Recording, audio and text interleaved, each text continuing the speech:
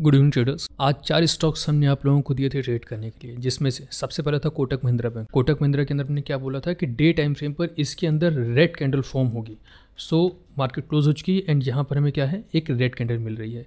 इसके अंदर short selling करने के लिए हमने बोला था लेवल्स हमने आपको बताए थे कि जैसे ही प्राइस आपका वन सेवन सेवन फाइव के नीचे आएगा, आपको यहाँ पर बस शॉर्ट मार देना है। प्राइस देखिए ओपन हुआ ओपन होने के बाद में इसने अपसाइड का मूव दिखाया।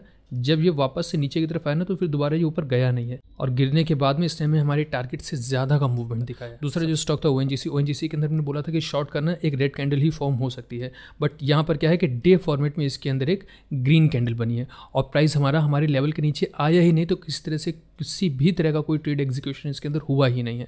क्योंकि इस वाले लेवल के नीचे ही हमको शॉर्ट करना था और प्राइस वहाँ पर नहीं आया। जब हम बोलते हैं कि इसके अंदर रेड कैंडल फॉर्म हो सकती है तो इसका मतलब ये है कि उसके अंदर फिर पूरे दिन आपको बाइंग नहीं करनी है। हम यही मान करके चलेंगे कि इसके अंदर आज के दिन रेड कैंडल ही बने एल हाउसिंग फाइनेंस था एल हाउसिंग फाइनेंस के अंदर भी हमें बाई करना था लेवल क्या था बाई करने का इस लेवल के ऊपर से हमें बाई करना था तो प्राइस पूरे दिन वहाँ गया ही नहीं ये नीचे ही रहा। ग्रीन कैंडल फॉर्म होनी थी रेड कैंडल बन गई जाने दीजिए। दूसरा सेम सेक्टर के stock India bull housing finance तो पूरा सेक्टर ये आज पूरे दिन नीचे गिरा है। सो यहाँ पर देखिए, ये स्टॉक भी नीचे ही अब बात करते हैं कल के लिए। कल हम लोग चार स्टॉक को ट्रेड करेंगे। चार स्टॉक्स देंगे ट्रेड करने के लिए हम आपको। HDFC बैंक सबसे पहला। शॉर्ट ही करेंगे, इसके अंदर बाइंग नहीं करेंगे। जा रहा है, जाने दीजिए। डे फॉर्मेट में इसके अंदर कल के दिन रेड कैंडल ही हम देख रहे हैं, बनती हुई। क्लोज होते होते मार्केट आप देख लीजिएगा HDFC बैंक के अंदर एक रेड कैंडल ही फॉर्म होती हुई नज़र आएगी।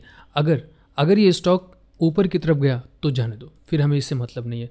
हमें शॉर्ट सेलिंग करनी है और इस लेवल के पास से शॉर्ट सेलिंग करनी टारगेट 0.5 परसेंट का ही लेकर के चलेंगे। 0.5 परसेंट मिलेगा, लेकर के चुपचाप बाहर निकल जाएँगे। एक बार प्रॉफिट में आ गए तो दोबारा फिर लॉस में जाना नहीं। सेकंड स्टॉक हमारे पास एच का एच भी देखिए सेम लेवल से कई बार गिरा है, कई दिन से लगातार इसी लेवल से ये गिरता चला जा रहा है। यहाँ से भी, यहाँ से भी, यहाँ से भी अगेन और फिर कल के दिन हमें इसके अंदर करना है शॉर्ट क्योंकि डे टाइम फ्रेम पर इसके अंदर रेड कैंडल फॉर्म हो सकती है। लेवल कौन से होंगे? Two four four eight two four four eight point forty five इस लेवल के पास से हम इसके अंदर शॉर्ट सेलिंग करेंगे टारगेट 0.5 परसेंट का। एक रेड कैंडल का कल हम लोग वेट करेंगे। थर्ड स्टॉक हमारे पास है हिंडालको हिंडालको के अंदर हमें कल के दिन सिर्फ़ बाइंग करनी है। बाइंग करने के जो एरियाज़ होंगे जो लेवल्स होंगे वो ये वाले। या तो आप साइड की लाइन से हम लोग बाई करेंगे या तो फिर इस वाली लाइन से बाई करेंगे सेलिंग नहीं okay. करेंगे। इसके बाद में सबसे लास्ट स्टॉक हमारे पास है रिलायंस का। रिलायंस के अंदर भी हम लोग सिर्फ़ और सिर्फ़ बाइंग ही करेंगे सेलिंग नहीं करेंगे। बाइंग करने का जो एरिया है वो two three double two point six zero and two three one five point three zero यहाँ से हम लोग इसके अंदर सिर्फ़ बाइंग करें। तो रिलायंस एंड हिंडाल को इन दोनों के अंदर कल के दिन ग्रीन कैंडल फॉर्म हो सकती है